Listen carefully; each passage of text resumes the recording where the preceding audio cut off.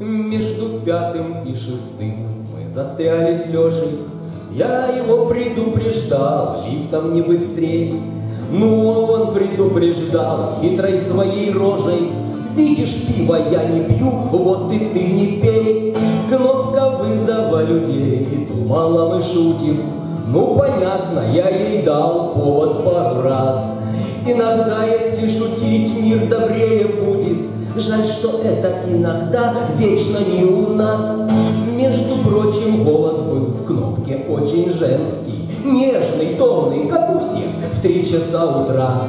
Вместо, чтобы на помощь звать Олух деревенский, Я позвал ее в кино, в цирк и в ресторан.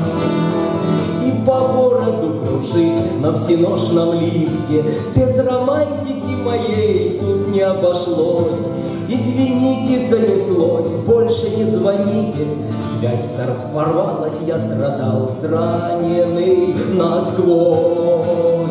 Друг сказал, я починю, и достал отвертки. Лифт решительно погас, нам стучали в дверь.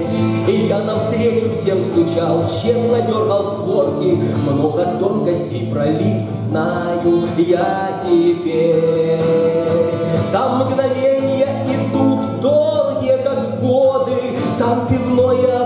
ассорти за душу берет. А Алешка паразит, травит анекдоты, Почва нервная ему раздражает рот. Очень хочется курить, хорошо, что нету. Говорю так, зная нас с разной стороны. Например, когда-то мы подожгли газету, Так соседям за балкон до сих пор должны.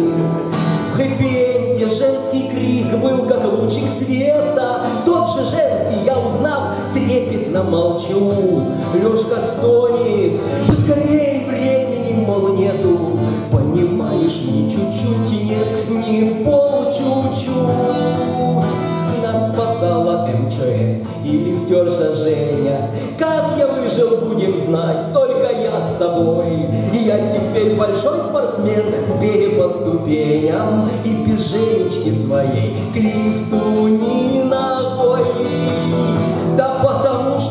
пошел и застрял на третьем, Снова крики в темноте, где они висят? Да спаслись, теперь сидим с другом на диете. Надо сбросить килограмм хоть по 50.